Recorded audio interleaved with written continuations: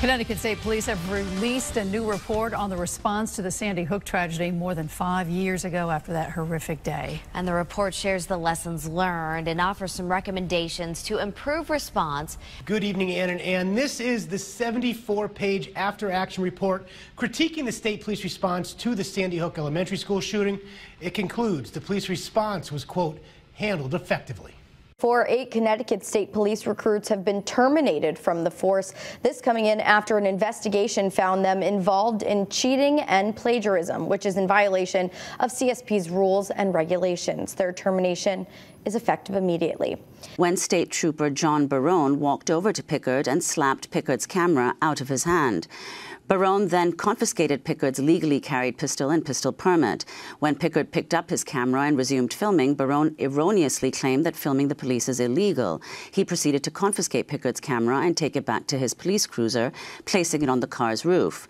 What the troopers didn't realize was that the camera was still working and recording their full conversation. In the recording, Barone can be heard discussing with Sergeant John Jacoby how to justify charging Picard, saying at one point, quote, gotta cover our ass Listen closely. He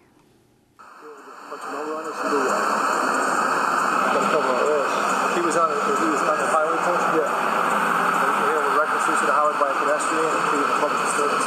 With the camera still rolling, the officers proceed to call a Hartford police officer to see if there was any grudges against Picard, open an investigation of Picard in the police database, and discuss a separate protest that he had organized at the state capitol. The police eventually charged Picard with reckless use of highway by a pedestrian and creating a public disturbance. Both charges are eventually dropped by the state after nearly a year in the Connecticut Superior Court system.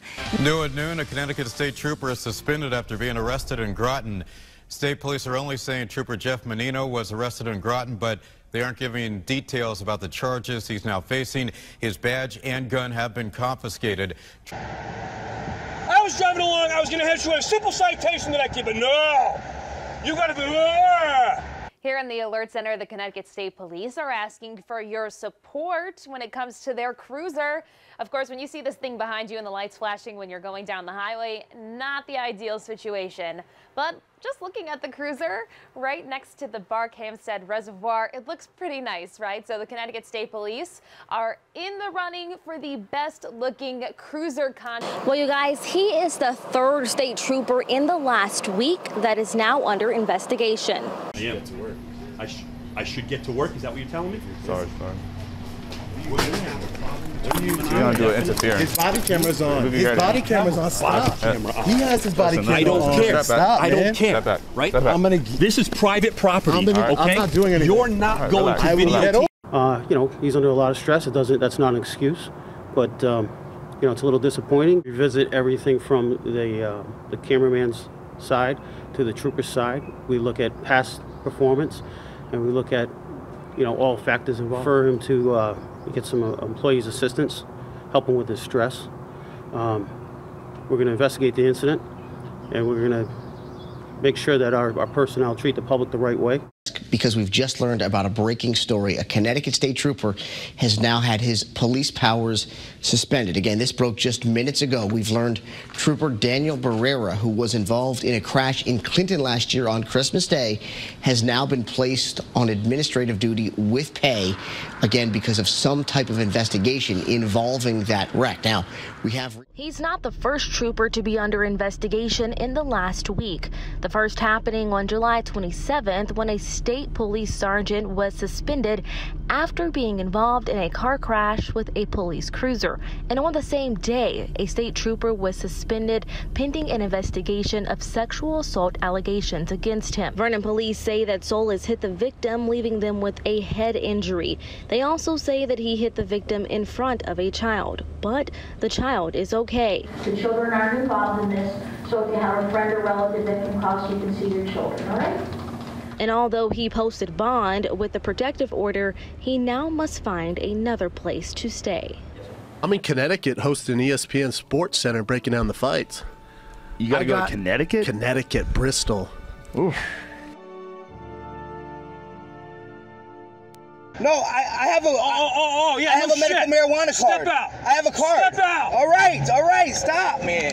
You want to fucking run your mouth? No problem. You came to the right guy. Step out. All right, all right, stop. Come. Bethel police say that early Sunday morning, officers saw trooper Andrew Murphy stumbling in a parking lot. They told him not to get into his car, but police say he got in and started driving anyway. Police followed him to his home and arrested him there. Murphy's charged with DUI, disobeying an officer, and interfering with police. He's also on administrative leave as well. Let's just not focus on the negative. Under the microscope. I have no tolerance for those that abuse the system. Connecticut State Police Commissioner James Rovella, the subject of a historic no confidence vote by a second union within the agency. In a statement, since he has taken charge, the agency has never been embroiled in so much controversy. The latest controversy a traffic ticket scandal where data was falsified to skew racial statistics. The American Civil Liberties Union chiming in, calling for, quote, swift, transparent, meaningful accountability. We have to be careful uh, in not creating an environment in which we're pitting uh, public safety against um, the residents of the state of Connecticut. Evidence suggests as many as 58,000 records may have been falsified over about the last decade. The acts of a few are not by all. But according to the Racial Profiling Prohibition Project, who uncovered the fraud, as many as 300 troopers may have been involved. But sir, excuse me, sir, you have to get sir, out of the way. Sir, Excuse I know me, I know your inclination is wanting to assault me, Excuse Sergeant. Me, Stop pushing me. I'm trying to get in. I'm that is Connecticut State Police Sergeant Brian Fahey. Try you to get in the building. in the building. You have no business. Here. I do have business here. Stop acting like a like a like a savage. What are you Back doing? For the second time in two years, Fahey's been caught assaulting Sean Paul Reyes, one of America's top constitutional auditors. At this point, Sergeant Brian Fahey assaulted me yet again all over Connecticut when I was doing stand up. I would drive from Boston into Connecticut. Yeah. I did like a lot of gigs in Hartford. I did gigs. Hartford is a shithole. Yeah, it's a shithole. And again, they have been here since about 1:30 this morning. Uh, police say that someone at this home made allegations against Jose Campos, who is a Connecticut state trooper, and that prompted a sexual assault investigation. And Campos has been suspended pending the outcome of this investigation. His police powers have also been revoked. So we have learned what exactly has been going on at this home again on Oldfield Road here in Southbury. We are going to continue to follow this closely, and any new details that we learn here, we will pass along to you. We're going to stay on scene here, as you can see, still very active investigation at this point. It just never fucking ends in this fucking job. I got 14 months. I can't fucking wait to be done. This ought to tell you why our department, instead of having 1,300, has 850 right now. There's a fucking clue to the public. What a bunch of assholes you are. State Police Trooper Sarah Starkey of Waterford was suspended this afternoon by her superiors. This is the mugshot provided by Norwich Police. The action follows her arrest on DWI charges late Sunday afternoon. Police tell Eyewitness News they received a call in their dispatch center about an erratic driver on West Main Street. What we know is that Sarah Starkey was in her own private vehicle when she was stopped by Norwich Police about 5:30 Sunday afternoon here on Salem Turnpike. Eyewitness News has learned that Trooper Starkey had just left the Harp and Dragon pub downtown. Her blood alcohol content was 0.16, twice the legal limit. A manager of the pub had no comment for our story. Yeah, I'm not a big fan of going to Connecticut, but the bottom line is Connecticut is filled with despair. Yeah. It's not a real state. It's a highway between New York and Boston. You know it's a highway. You guys put houses on a highway. This is what it is. It's a highway, and then along the highway, it's a bunch of fucking tax sheltering cunts that uh, that live in Manhattan and then have these palatial estates in That's Greenwich, definitely Connecticut. true. Trooper First Class Christopher Russell faced a judge today charged with assault and disorderly conduct. Investigators say Russell and his girlfriend got into a fight on Saturday night and things turned violent. Police say Russell ripped a mirror off a wall and smashed it on the floor.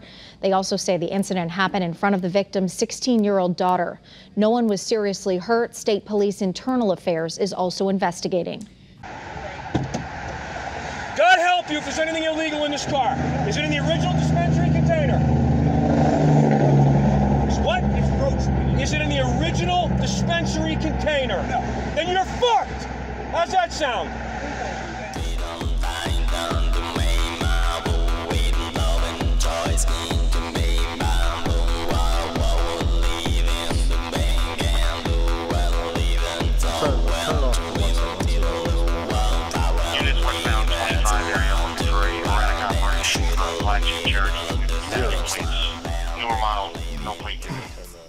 Rather have less troopers on the road than have more troopers on the road who have documented proof of um, of falsifying information.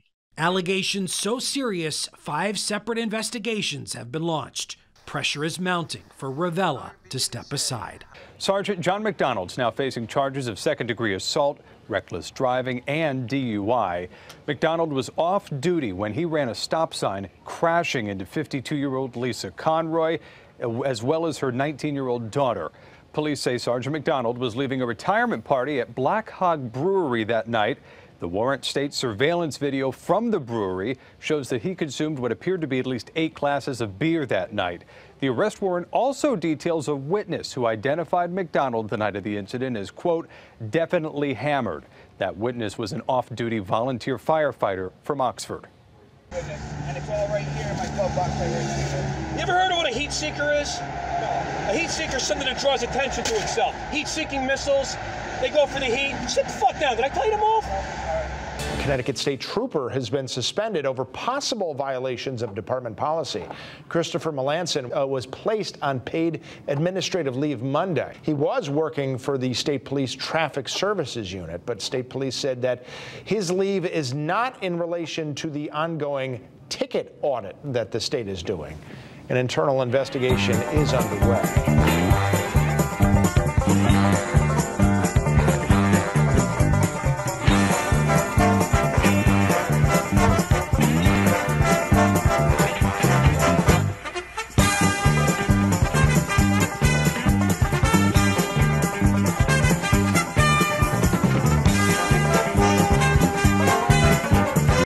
afternoon, Governor Ned Lamont named Ronnell Higgins as the replacement for current Public Safety Commissioner James Rovella. But this leadership change coming, as you said, at a time of uncertainty for the state police department facing staffing shortages, union unrest, and now a federal investigation into falsified traffic stops. Bye-bye.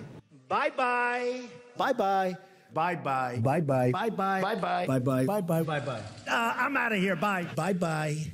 Okay? Bye bye. Bye bye. Bye bye. Bye bye. Bye bye. Bye bye. Bye bye. Bye. Bye. Thank you very much for coming. Appreciate it. Bye bye. Thank you very much. Uh, bye bye.